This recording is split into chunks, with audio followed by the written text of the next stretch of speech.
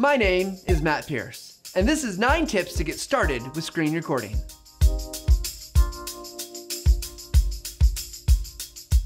Tip 1. You can record anything on your screen. One of the benefits of screen recording is that if you can see it, you can capture it. This includes PowerPoints, spreadsheets, web pages, and not only does it capture the information on the screen, it also captures any actions that you take while you're recording. The downside of capturing everything on your screen is that anytime there's a notification, a pop-up, or anything else you don't want seen, like a messy desktop, it will also get shown. So before you start recording, take some time to clean up your desktop. Make sure that you've turned off notifications and that you're not gonna run into any pop-ups. Screen recording is a powerful way to share any information that you have on your screen with your viewers. Tip two, have a plan about what you're going to say. We've all been there. Lots of ramble, ramble, ramble, ramble, right? It's easy to get lost inside of your own head as you start recording. I know, I do it all the time. So you need to have a plan or an outline or a script, something that's gonna guide you through your process so that you make a better video, because that's what this is all about, making a better video. So what should you write down? Anything that's gonna help you get through the process of creating your video. This could be what to say, this could just be the steps, this could be any of those details so you don't forget. Tip three, length can impact effectiveness. There's a burning question out there that everyone has in mind is how long should my video be, especially for a screen recording? Well, we have an answer. The answer is it depends. That's right. I would love to give you a solid answer and say every video should be one minute or less. But the fact is, that's not true. If you have a short video, but you don't convey all the information that's needed, you're gonna leave your viewers hanging and wanting, and they're not gonna be happy. On the other hand, if you make a long video that has way more than you need, they're gonna get bored and they're gonna stop watching, which means your video isn't effective. So, what do we do? Well, first and foremost, make sure that your video contains the right information and is relevant to your viewer. If you can do that, you're gonna convey the right amount. So make a video that is as short as possible, but as long as needed to convey whatever it is that you have to share. Tip four, audio quality matters. One of the things that can make a big difference in the quality of your overall screencast recording is the audio. Why audio? Because it's 50% of your video. What are some things you can do to make better audio? Well, first of all, stop recording with a microphone built into your computer. I know it's there, I know it works in a pinch, but adding a separate microphone will increase the quality of your video dramatically. Next, you'll wanna make sure that your microphone isn't picking up any background noise. What kind of background noises might it pick up? Well, anything around you, like fluorescent lighting, maybe your HVAC, maybe it's the neighbor's dog down the street having a really bad day and barking at everything. If you do find that you have these noise, you can, in some programs, clean them up, but the key thing is to make sure if you can eliminate them, get rid of them. Finally, the last thing you're gonna wanna be aware of is microphone placement. Make sure it's placed in such a way that it can hear you well and your audience can understand you. Because let's face it, folks, one of the things that will turn off viewers faster than almost anything else is really bad audio. Tip five, record at an appropriate size. What do we mean by recording at an appropriate size? Well, the default and easiest thing to do is to record everything here, everything on your screen.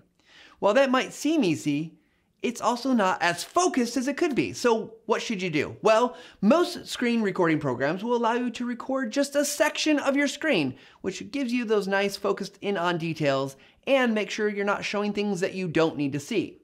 One thing to keep in mind though, if you're going to record a section of your screen, is to make sure that the dimensions work well with wherever you're going to host your video. Don't get caught up in doing some weird sizes and then be disappointed when you end up with black bars on your videos on YouTube or Vimeo or wherever you host your videos. Now, here's the safe thing. If you're unsure and you're like, I don't know what size to record, just record everything. It's okay. It's better to capture everything and get the needed information for your audience than to miss something critical or important.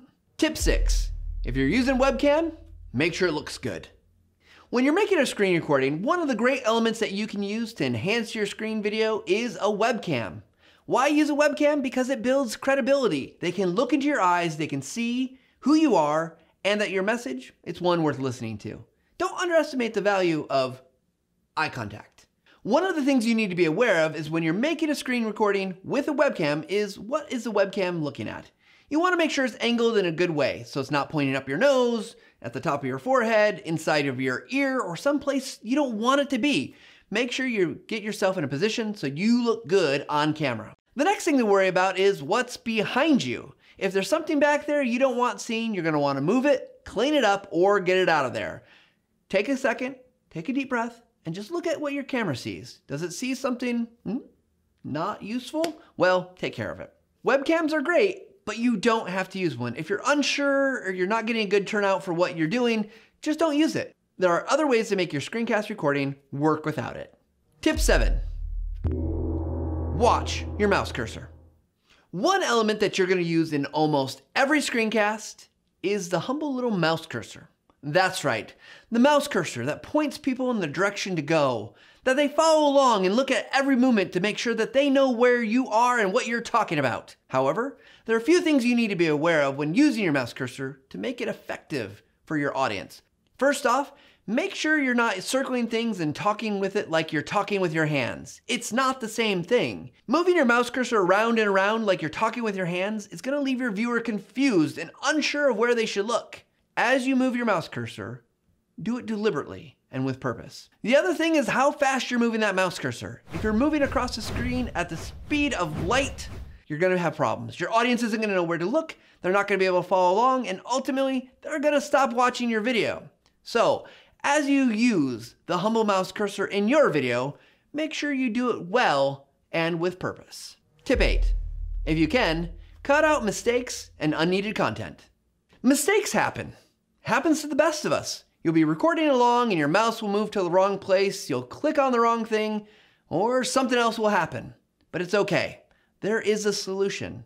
When you make a mistake, try not to worry too much about it. Just take a deep breath, pause, take a few steps back, and record again. Because here's the beauty of a video editor. You can go back and you can cut out the problems.